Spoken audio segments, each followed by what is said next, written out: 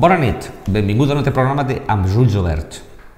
Eh, disculpen per la tardança que hem tingut en tornar a estar amb vostès, però per circumstàncies tècniques de fallos en els repetidors de telefonia mòbil i en el Bartolo i coses que passen, pues, hem estat una temporada negra.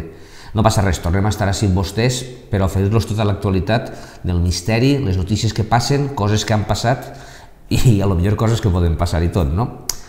Abans de res, donar-vos les gràcies per la bona acollida que han tingut els últims programes, en especial el que vam fer de, de Nadal en broma, en, i agrair a tota la gent que va estar així, pues, que m'ho vam passar molt bé. Agrair a Maria Gonell, Maria Luisa Renau, Vicente Blai, els Lluïsos i tota la gent que va col·laborar, i la veritat que m'ho vam passar molt bé. Eh, n'hi ha vegades que val la pena rir una miqueta de totes aquestes coses i n'hi ha vegades que n'hi ha que treure temes candents de l'actualitat que estarà així. Avui, per el dia que ha sigut la setmana passada, no? que va ser Sant Valentín, volíem fer un especial de Sant Valentín per treure tota la tradició amorosa de, de, diguem, de hechizos, d'atraccions, de tota la llegenda que n'hi ha en l'amor, de tot el que ha sigut al llarg del temps, dels anys i tot. Però bueno, ha sigut un tema de molta actualitat i que possiblement encara donarà molt més que parlar. Anem a parlar dels Estats Units i anem a parlar d'una cosa que molt poca gent ha sabut. S'està dient en contagotes.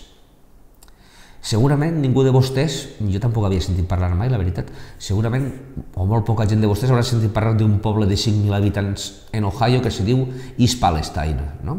És un poble de 5.000 habitants, al costat d'un riu i d'una via de tren, i és el típic poble on diguem-ne que mai no passa res, no? Un poble de 5.000 habitants. Què passa? Que n'hi ha una companyia de trens que opera per allí, que se diu la Southern Norfolk, no? que portava el passat 3 de febrer un tren carregat de 50 vagons en cloruro de vinilo i el tren va tindre un accident, un descarrilament i va explotar. Les conseqüències de l'accident encara no s'han pogut qualificar perquè més que res n'hi ha un secretisme enorme. Poden veure unes imatges d'un vídeo que, que s'ha fet en un dron i que la veritat és que és sobrecollidor.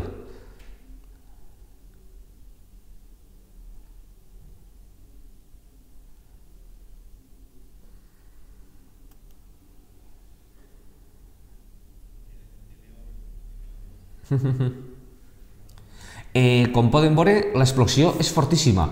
En el poble, pues, suposadament, ha contaminat eh, no sé quants, per diversos mils i mils de persones el que és la via potable.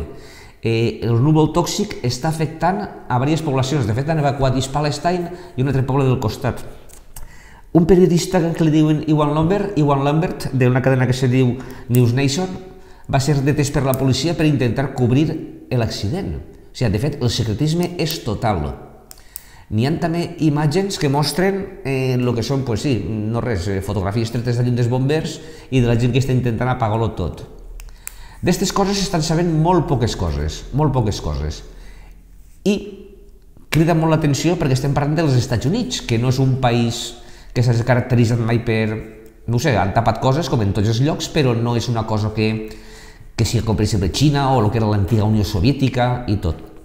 A aquest accident hi ha gent que estàs començant a dir-li el Bhopal d'Estats Units, no? per, per el famós accident de Bhopal en la Índia que va haver l'any 85, perdó, o el Txernòbil, el Txernòbil americà, perquè la veritat és que la catàstrofe pot ser enorme. És increïble, no estan donant quasi informació, estan desalojant pobles, estan eh, silenciant a la gent i no diuen absolutament res. Res? O estan, tampant, o estan intentant tapar l'atenció en unes altres coses?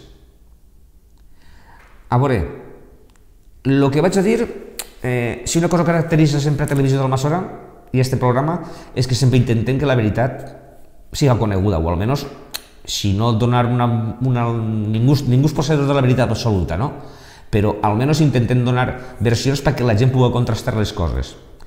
I en Estats Units ha passat una cosa, les coses clares. Ha passat una cosa en la famosa era de la postveritat que diuen que estem ara i en la informació o desinformació. En els Estats Units hi havia un president que no caia bé. Tot el món sabia, era, era Donald Trump, no caia bé. Des del primer moment que va guanyar, els mitjans d'informació o de desinformació van començar a parlar mal del, mal d'ell, malament d'ell. però malament del tot, per tot. És una cosa que podem veure en molts països. Quan un candidat no interessa, se compten certes coses i s'encallen unes altres. Doncs vostès consideren que des de que mana el president actual, Joe Biden, eh, ni n'hi ha una pressió migratòria forta, segurament sí que està, però no ho sabem, ni n'hi ha cap policia o n'hi ha a muntó, a muntó menys que abans, que n'hi havia, de casos de violència policial contra minories racials. No ho sé, és la impressió que dona. I per supost, imagínense vostès que haver estat manant el president Trump i haver passat aquest accident. Haver estat tot, tot incendiant-se. Ja es dic, és una opinió però que les opinions de vegades serveixen per a pensar, per a fer veure que moltes vegades els mitjans de comunicació es fan veure unes coses i ens callen unes altres.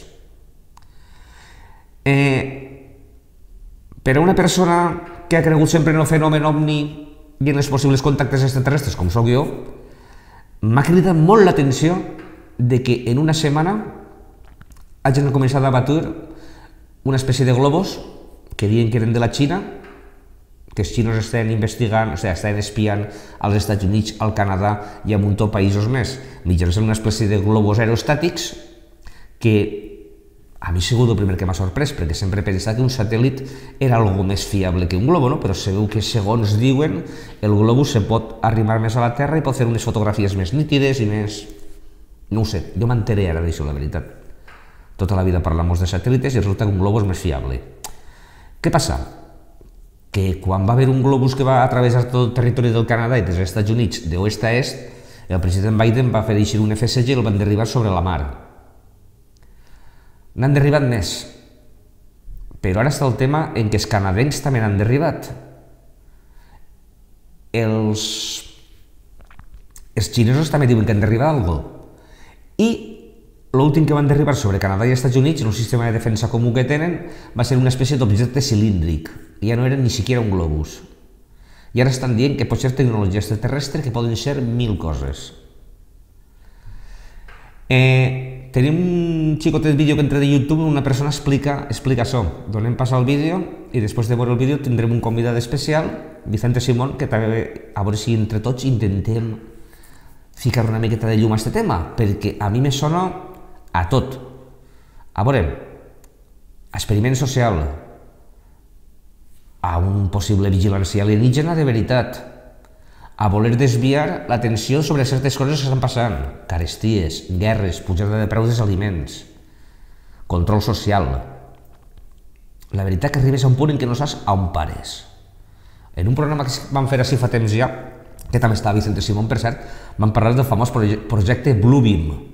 El projecte Bluebeam, llum divina, anava sobre això, sobre la capacitat de manipular la gent mitjançant aparicions divines de la Mare de Déu, d'ovnis, però tot projectat en hologrames, tot artificial. O siga, per un costat tenim, perquè és sospitós del tot, no? Per un costat tenim el, el fenomen dels globus, Curiosament, en l'any 47 en Roswell, quan van derribar el famós, el famós, quan se va estrellar el famós OVNI, també van dir que era un globus estàtic i a partir d'ahir van tenir una, una revolució de la tecnologia assombrosa. Ja dic, eh, és tot com una teranyina, com una tela d'aranya gran, que no saps hasta on pot abarcar, qui pot estar implicat, què mos volen amagar, què mos volen ensenyar, no sabem res. Eh, després del vídeo donem la benvinguda a Vicente Simón. Buenos días y bienvenidos a mundodesconocido.es.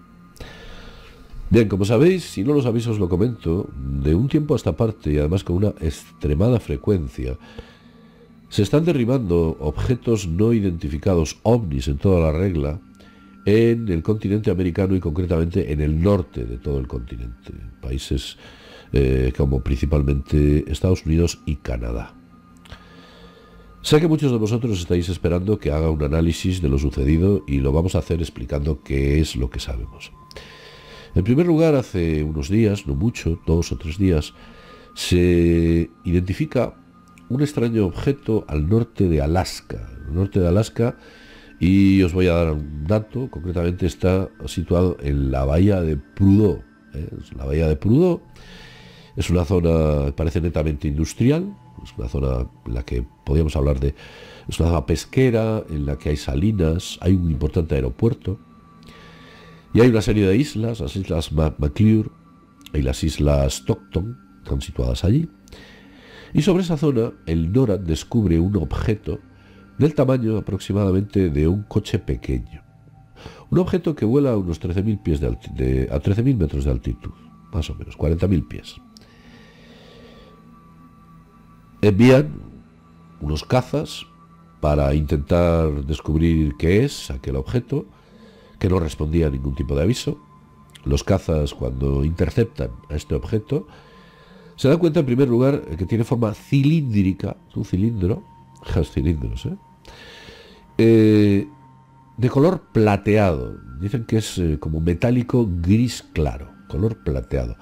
Eso es lo que le he tenido la oportunidad de escuchar en las declaraciones que ha hecho el Departamento de Defensa sobre este objeto. El objeto, al poner en riesgo el vuelo civil de la zona, finalmente y por eh, orden directa de Biden, es derribado, derribado por estos aviones y cae en el mar. Ha en el mar en ese punto que os he indicado, cerca de la bahía de Prudo.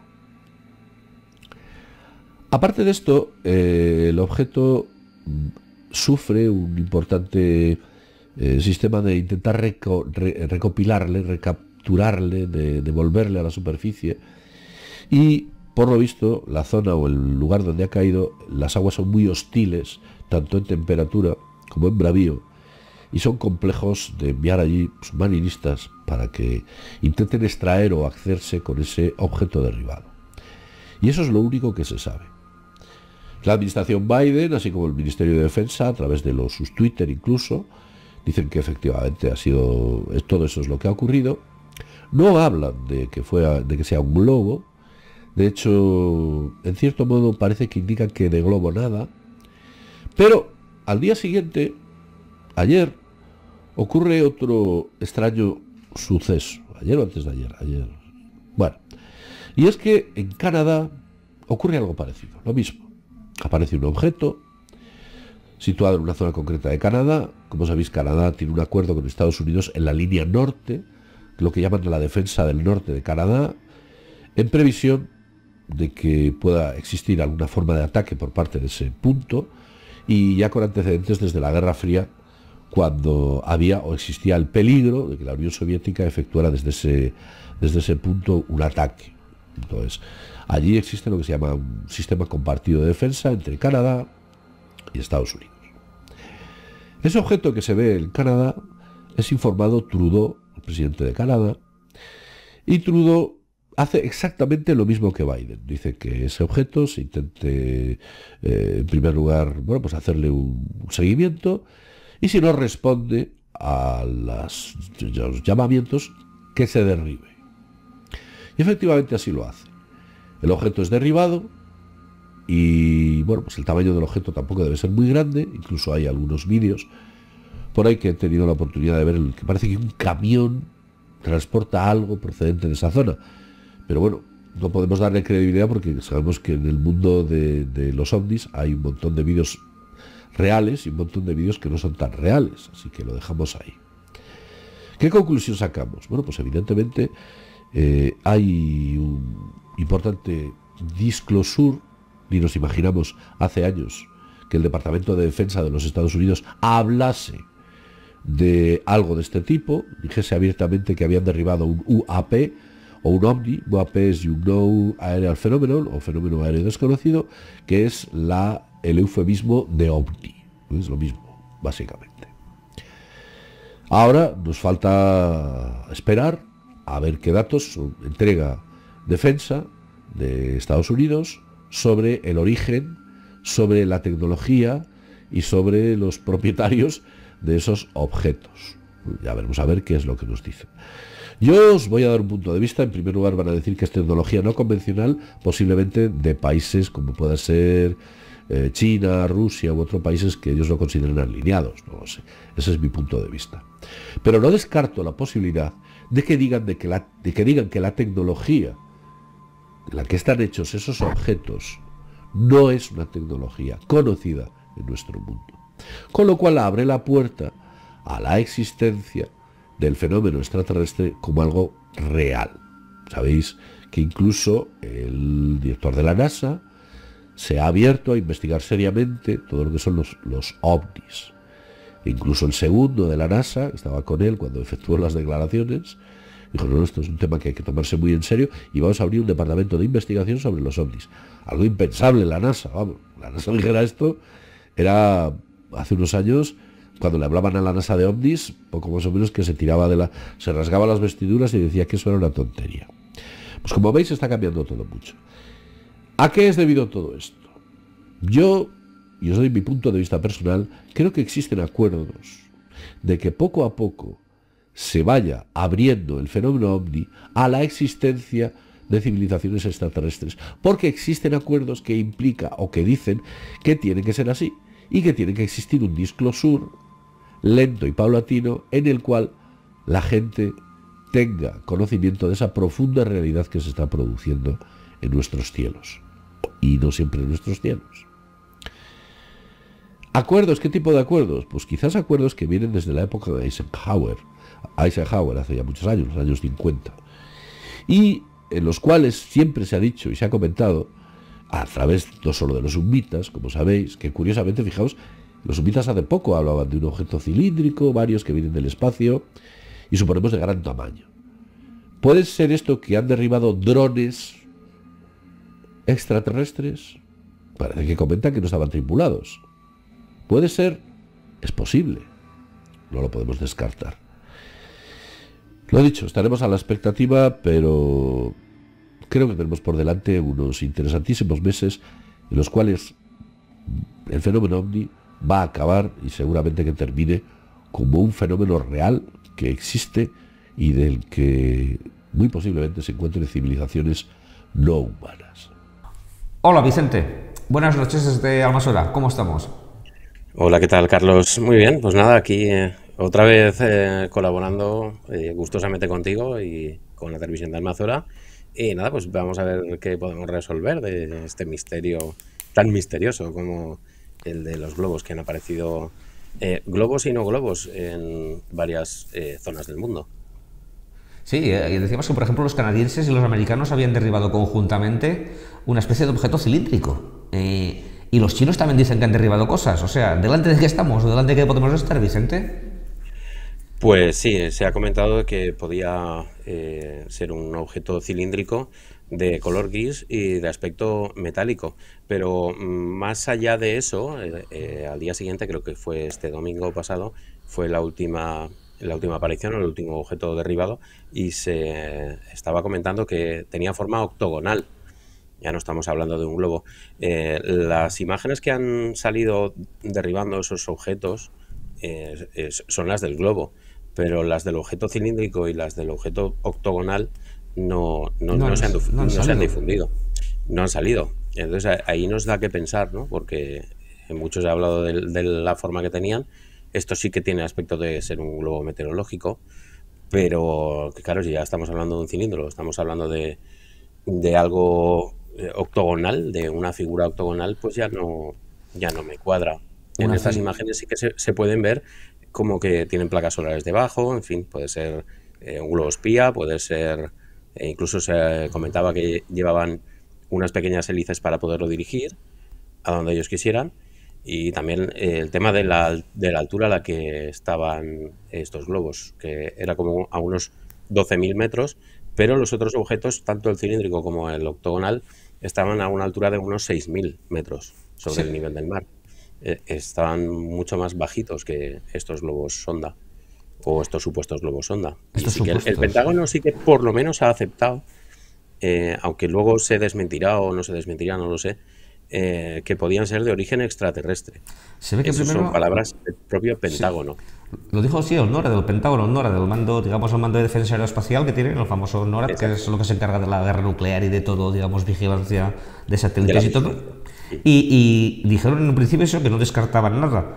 Pero claro, cuando, cuando tienes la mosca detrás de la oreja siempre te preguntan eso, dices, nos están desviando. Yo, yo me imagino que lo que tú, yo era un gran fan de la serie Expediente X y Expediente X se centraba tanto en, digamos, en, en, la presencia extraterrestre y en la supuesta conspiración que había detrás de todo ello, ¿no? La gran mentira que decían. La gran mentira. Claro, ahí, se mezclaban ambas cosas, se mezclaba eh, un poco el tema de los extraterrestres, en el que Mulder estaba eh, convencido de que ah, no es que habían habido avistamientos, sino que habían habido abducciones. Su propia hermana, a los 12 años, pues fue secuestrada por, por supuestamente por los alienígenas, y entonces él va buscando no solo el demostrar que sí que habían venido, sino la, conspiración.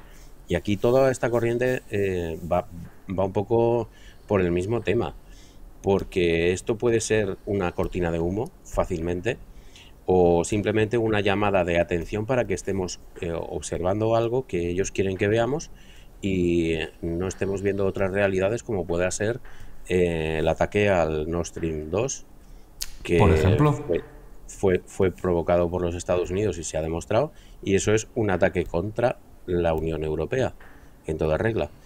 Para desviar un poco la atención, pues sí, es fácil que... Eh, no sé si recordarás, hace unos años, ya hace bastantes años, lo de los eh, las, rocas de hielo que caían del cielo. famosos aerolitos, muy bien, sí. Los aerolitos. Cayeron por todos eh, sitios. Hubo una, temporada donde caían aerolitos por todos lados y luego ya no, no, se ha, no se ha vuelto a repetir, no se ha vuelto a decir. Ya la gente hizo vídeos incluso de cachondeo un poquito con el tema de los aerolitos. Sí, sí. Pero al principio pues se suponía que eso era real, no se sabía si caía de los aviones, tal. Y al final era un poco también para, para que la gente Mm, se pusiera el, foco de atención en algo que ellos querían y ya está. Y ahí es donde puede estar una posible conspiración. Una posible conspiración para, pero ya no digamos para no negar, digamos, la, la evidencia extraterrestre, sino al contrario, para, para, para, taparla más todavía, como lo decimos siempre, para ridiculizarla, para todo, para que la gente diga, al final eran cuatro globos, o, o al final es un contactado que sale tipo Carlos Jesús, por decirlo de alguna manera. ¿Sabes lo que te quiero decir? Puede que sea tanto para una cosa como para la otra, porque puede ser que lo que quieran es ridiculizar lo que es el evento de los avistamientos extraterrestres, o también puede que sea para que nos acostumbremos a que probablemente sí que exista algo y que ya lo sepan. Y poco a poco nos van a hacer que nos acostumbremos a que eso es normal. Hasta que llegue un momento en el que se descubra o dijeran que sí que están entre nosotros o que sí que ha habido contacto con, seres de, otros mundos o simplemente que ya están aquí, entre nosotros. Se cumplen ahora tres años, Vicente, tú lo sabes más que nadie también, se cumplen ahora, porque te tocó cerrar el negocio y todo, se cumplen ahora tres años de que empezó la, pandemia, digamos, o la pandemia, como quieres llamarlo, ¿no? Y, bueno, después de todos estos años han hecho de nosotros lo que han querido. Sí. ¿No será esto otra vuelta de tuerca? Puede ser, porque ya eh, a principio del siglo, cuando eh, el 11S, después del ataque a las Torres Gemelas, el ataque para mí de falsa bandera a las Torres Gemelas, eh, ya hubieron muchísimos cambios, como es el control en los aeropuertos y, y, mucho más control del que había antes, sobre todo a nivel de documentar a la gente en Estados Unidos. Sí, que nunca había habido tanta documentación. Y nos vendieron la moto de libertad por seguridad, exactamente. Exactamente. Eh, quizás restemos algo de libertad, pero es por vuestra seguridad, exactamente igual que ha pasado durante la pandemia, que hemos acatado todas las normas, aun aunque algunas fueran contrarias a nuestra propia constitución, porque eran ilegales, leyes ilegales, ahora ya han terminado de quitar la ley ilegal de ir con mascarilla en los, en los autobuses, por ejemplo, y en los transportes públicos y lo hemos aceptado. Así de simple. Por nuestra seguridad, por nuestro bienestar, porque no muera más gente, por, por miedo. un montón de cosas y por el miedo lo hemos aceptado. Y sin embargo a mí nadie me ha dicho nunca, y es un tema que ha salido, incluso hay una película que se llama Aguas Oscuras, que yo le recomiendo a la gente que la, que la vea, eh, tirarán las sartenes a la basura, pero da igual, es por su bien. El teflón es tóxico. Y el teflón lo estamos utilizando desde hace más de 60 años y nos lo han vendido como que es la última maravilla del mundo. Te lo puedo decir porque, como sabes, yo soy cocinero y sé de qué estoy hablando. Y el teflón, según dicen, es seguro hasta 260 grados. Yo he medido con los termómetros que tengo de precisión, una sartén sube a más de 300 grados. Estamos superando el límite de seguridad, en teoría, del teflón. Provoca seis tipos de cánceres provoca hipertensión, y provoca un montón de afecciones porque el C8, que es el componente que lleva el, teflón, el cuerpo humano es incapaz de eliminarlo. Y sobre eso nadie habla. Es una de las cosas. Y en, la, Unión Europea se ha prohibido en 1900, o sea, en el año 2020, cuando se sabía que era tóxico por la empresa que lo empezó a, a comercializar desde 1962. Nos han estado envenenando durante 60, casi 50, 60 años. ¿Quién pide responsabilidades de eso? No se puede. Ya pagó la empresa responsable, ya pagó 600 y pico millones de euros, pero se siguieron haciendo sartenes de teflón y de hecho vas a comprarlas y hay. Con recubrimiento de teflón, sí. Eh... Con recubrimiento de teflón. O sea que ves como hay veces que hacen las cosas para que pongamos el foco de atención en algo que no tiene importancia o que no es tan relevante como ellos quieren hacernos creer y nos, desvían la atención de, otro, de otras cosas que quizás sí que sean importantes. Estaba viendo yo otro día... que la gente mire si tiene sartenes de teflón en casa.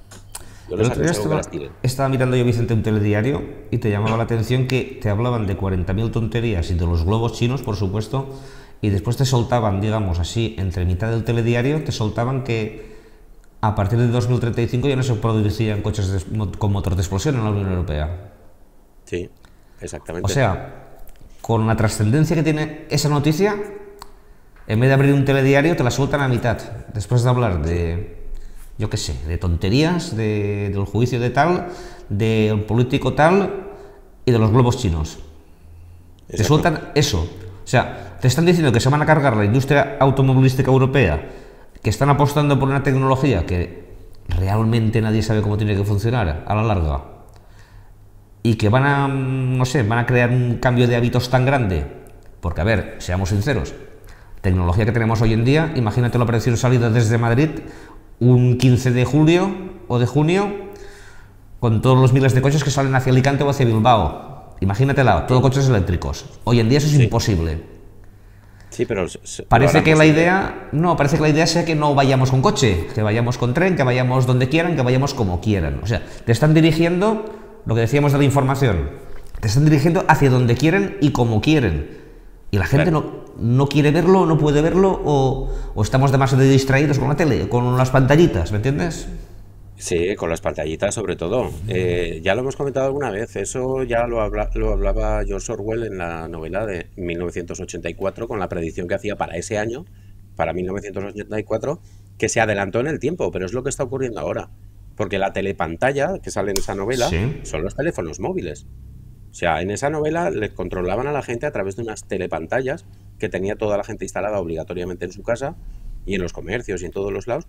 Y ahora esa pantalla la llevamos en el bolsillo. Y no es que nos lo ha obligado nadie, sino que voluntariamente la llevamos. Eh, si sales de casa sin el móvil, vuelves a por él. Si sales sin la cartera, pues bueno, igual llevas hasta la tarjeta ya puesta en el móvil. Entonces, nos lo han hecho imprescindible y realmente nos escuchan. Y es eh, el tema es que nos llevan por donde ellos quieren. la leyenda negra, la leyenda negra es que nos escuchan, pero realmente a veces te quedas sorprendido de, hablar, de hablar de ciertas cosas y luego te mandan publicidad. no sé, es cuando menos curioso. No es una leyenda negra porque yo lo he comprobado. Y eh, es totalmente eh, cierto que nos escuchan. El teléfono móvil nos está escuchando. Nos está escuchando y ya no, no es que nos mande publicidad, sino incluso que te recomienda eh, que sigas a personas, tanto en Facebook, en Instagram y en el resto de redes sociales. En las recomendaciones. Es, es así, porque lo he comprobado. Lo puedo demostrar que lo he comprobado. Pues nosotros estaremos atentos a todo lo que está pasando con esto de... Porque a lo mejor para el próximo programa tenemos que dar a la gente la buena noticia de que hemos contactado con nuestros hermanos del espacio, ¿no? O de que nos han vuelto a... Nos han vuelto a pegar otro garrotazo. No sabemos exactamente lo que, lo que nos puede pasar, pero... No lo sabemos. No lo sabemos. Puede que sea, puede que sea pasajero y simplemente sea una noticia que ahora ha salido a los telediarios porque había necesidad de contarlo. O, bueno, solo dirá el tiempo si la noticia sigue y, van y siguen apareciendo más objetos y empiezan a ser de otras formas y demás, pues quizá al final tenga que decirlo y tengamos que aceptar que probablemente pues sí se haya contactado y probablemente pues son civilizaciones más avanzadas que nosotros que por qué no pueden estar en el universo y deben estar y si no sería ridículo pensar lo contrario pues que hayan llegado ya, hayan contactado con nosotros. Pero también me llega a la conclusión de otra cosa. Si han contactado con nosotros, ¿por qué la mejor manera de recibirlos ha sido derribarlos? Eh, claro, es que eso sería ridículo. Por eso, eh, además, tan frágil no puede ser una nave extraterrestre ni de casualidad. Las, los dos globos que han explotado en el Economisil, que son los que nos han enseñado, los otros dos no, pues claro, es ridículo pensar en que eso tan, frágil pueda venir de ningún sitio que sea muy lejano. Que te lo manden de una nave nodriza o de la luna o de donde sea, no lo sé. No, De, la luna, de la luna hueca, que eso es una teoría también que... Una teoría muy buena, la luna hueca, sí. Es una teoría que también ha corrido por ahí mucho, sobre todo durante la pandemia, porque estábamos confinados y la gente se aburría mucho y a buscar información de todo, pero sí. bueno, al final la luna sí que es cierto que resuena cuando, cuando se le impacta, eh, como una campana. Entonces, bueno, pues a ver, la masa igual como la Tierra y bueno, no, no, no es igual. De todas maneras, eh, eh, una cosa mala que ha tenido la pandemia, buena y mala, la gente se aburría tanto que dices tú que ha buscado todo tipo de información y las sociedades y asociaciones de gente rara han salido como las setas. O sea, los terraplanistas, por ejemplo, se han multiplicado como... Bueno, pero ya, ya son terraplanistas que ya no te lo buscan, digamos, con evidencia científica o con una supuesta evidencia científica. Ya se basan en que el Señor puso la Tierra sobre dos columnas, ¿me entiendes? Ya, ya bueno, ya es lo máximo. Y que si la luna es un reflejo, que si solo falta la señal de Batman. Es, no sé, la verdad que ha, sido todo tipo de especulación y, es lo que digo yo siempre, a saber quién está detrás de todo eso, porque muchas veces no son casuales esas cosas. No sabes quién lo financia, quién no lo financia, con el sentido de ridiculizar a quién, con el sentido de cuando alguien destaca un poquito salir otro lado. Mm, ¿Me entiendes? De todas formas, la ciencia también tiene. Eh, es un arma de doble filo. Sí, la ciencia es un, a veces es un dogma, no puedes ir contra ella, sí, eso, estoy de acuerdo contigo.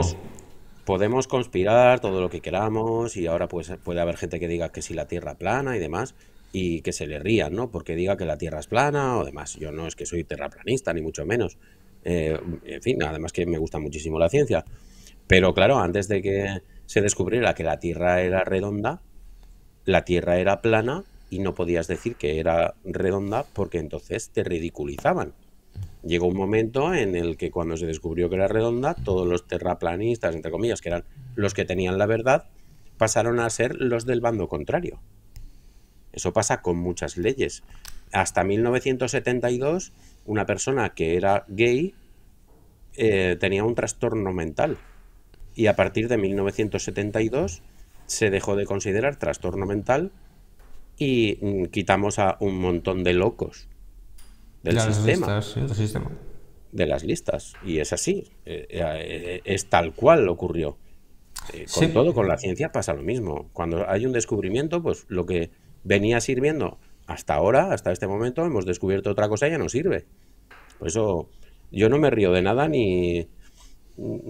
Por supuesto, hay gente que cree que la Tierra puede ser plana, pues bueno, pues hasta un momento de la historia todo el mundo decía que era plana y no podías decir que era redonda porque estabas loco. De hecho, Colón se le consideró que estaba loco porque decía que era redonda. seguiremos. seguiremos Uno de los primeros locos. Seguiremos muy de cerca toda la actualidad de lo que está pasando. Y es lo que digo yo. Digo, posiblemente, a ver si en un par de semanas o en tres, o sea, de programas me refiero, podemos dar unas noticias, otras. O a lo mejor esto se ha olvidado y ya nadie habla de esto. es como lo de los aeroluitos que decías tú antes, seguramente. Puede pasar. Y tú fíjate, eh, Nikola Tesla, cuando eh, sacó el primer mando a distancia, digamos, eh, que hizo un submarino que lo controlaba con control remoto, nadie le hizo caso. Porque eso era una tontería y eso era. estaba loco. Nikola Tesla estaba loco. Y ahora toda la tecnología es inalámbrica. ¿Por qué nos llegan los datos al móvil, las llamadas, todo esto? Porque lo inventó una persona y que se llamaba Nikola Tesla. Y ya está. Y se, le consideró loco. Pero loco, loco. pues nada. Nada, Vicente, estaremos atentos a todo lo que pasa y no sé, tú ah, si te enteras de algo, pues avísanos porque vamos, tú siempre vas por delante de nosotros en, muchos temas de estos, ¿no? La verdad. Y, nada, nos vemos hasta la próxima vez que colaboremos y siempre un placer, siempre un placer tenerte con nosotros. Buenas noches pues gracias, igualmente poder colaborar con vosotros y estaremos atentos a las noticias y a cualquier cosa que pueda ocurrir o cualquier cosa que yo vea por ahí y estamos en contacto para lo que haga falta. Buenas noches. Buenas noches.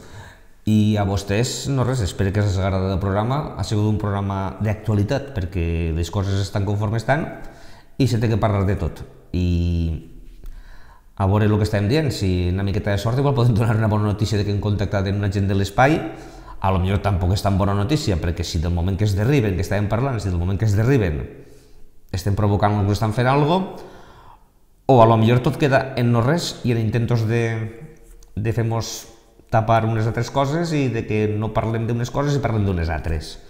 No res, es espera el pròxim programa amb els ulls oberts. Bona nit.